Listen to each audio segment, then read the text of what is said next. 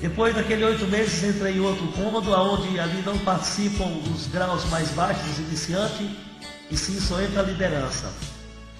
No Espiritismo, como eu já relatei, o diabo vem como santo, e na maçonaria ele vem como Senhor dos Exércitos. Todos são espíritos enganadores, mentirosos, que vêm com a finalidade de matar, roubar e destruir. João 10, 10. Então veja bem. E ali, ao entrar naquele cômodo, a primeira coisa que eu encontrei foi um bode, um animal vivo de cor preta. Quando de repente eles invocam ali um espírito maléfico por nome Exu Beuzebu, que é o príncipe das trevas.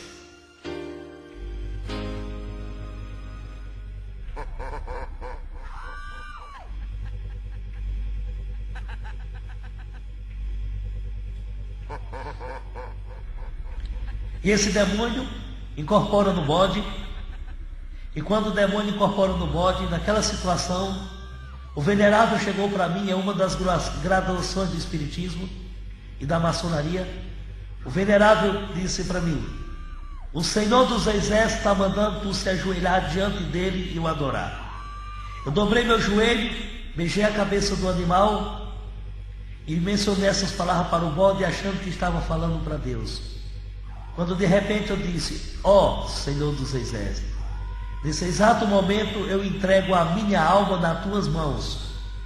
Meu nome escrito no livro preto. Entrego a alma da minha esposa, da minha filha, e faço uma aliança contigo, assim como tu fez uma aliança no passado com Noé. É bem bíblico, mas usando a Bíblia, distorcendo da verdade para a mentira, para enganar, para seduzir as pessoas em função de fama, sucesso e poder aquisitivo. Foi feita uma transfusão de sangue, o qual foi tirado do meu braço direito 15 ml de sangue e aplicado no animal. O animal estava incorporado com aquele demônio. E ainda com a mesma seringa descartável, foi feita essa transfusão, tirando o sangue do animal e aplicando na minha veia do braço esquerdo. Queridos ouvintes, quando aquele sangue do bode começou a percorrer sobre as minhas veias, corroía todo o meu corpo, como se estivesse quebrando meus ossos, rasgando todo o meu couro cabeludo. Eu queria sair correndo dali, mas eu não tinha força. Eu já me sentia acorrentado no inferno.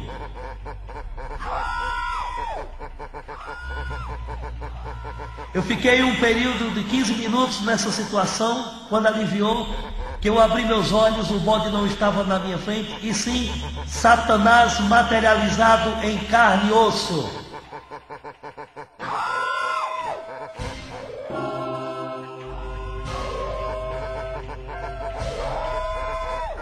E ali aquele demônio estava na minha frente, pôs a mão sobre a minha cabeça e falou em língua dos anjos, qual ele falou, Ripla de Clovias de Cantes Nevia e disse para mim: Servo bom e fiel, se humilha diante do teu Senhor, que toda língua confessará e todo joelho se dobrará. E ali, sem ter conhecimento da verdade, dobrei meu joelho beijando seus pés, levantando, beijei as suas mãos. Uma distância de três metros à minha direita, tinha um boneco de inflável, uma altura mais ou menos de um metro e vinte centímetros, representando o Senhor Jesus Cristo, os seus cabelos compridos, o manto, o bigode e a barba. O diabo aponta para o boneco e diz: Vai lá e amaldiçoa teu ex-deus, o falso profeta, o qual eu crucifiquei. Eu cheguei diante do boneco e disse para ele: Ó oh, falso profeta, tu que diz que vê o mundo para curar, salvar e libertar, tu és um mentiroso. As igrejas estão clamando o teu nome e o povo mendigando pão. É por isso que tu foi crucificado. Na tua cara eu cuspo.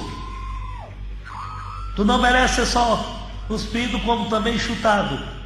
Eu chutei o boneco, o boneco caiu, eles bateram palma e fizeram aquela festa tenebrosa.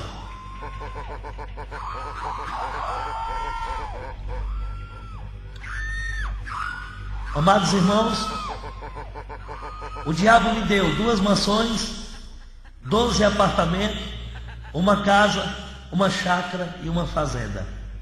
Eu fui um homem muito rico, tinha um poder aquisitivo muito alto.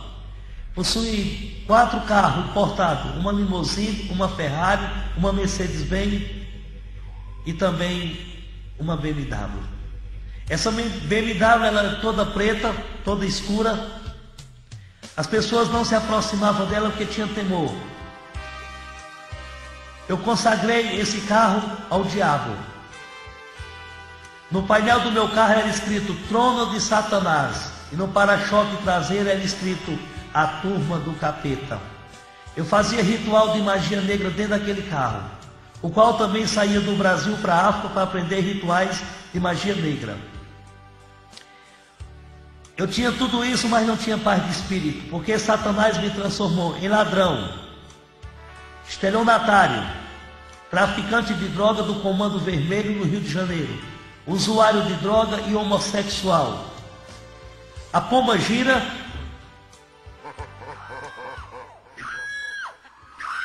Essa é a voz da pomba gira Maria Padilha.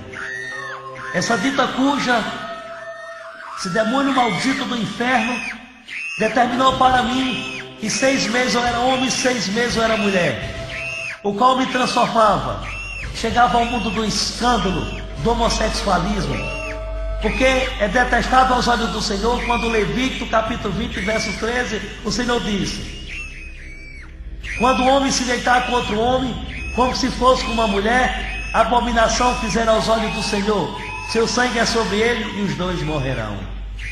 Amém, Jesus. Graças a Deus o Senhor me resgatou. Eu tinha tudo isso, mas não tinha paz de espírito. Cansei de chegar em casa com um pacote de dinheiro, jogar em cima da cama e dizer para minha esposa: aqui nós estamos enchendo o travesseiro, é com dinheiro. Mas eu não podia sequer reclinar a minha cabeça naquele travesseiro porque eu não tinha paz de espírito. Amados, eu fui me aprofundando mais e mais ainda. O segundo pacto que eu fiz foi em Salvador, na Bahia, com a mãe menininha do canto A. Um pacto tenebroso. Um pacto de sangue, de horrores, de maldições. Aonde Satanás sorria da minha cara, gritava, me chamava de cavalo. E hoje eu digo para ti, Satanás.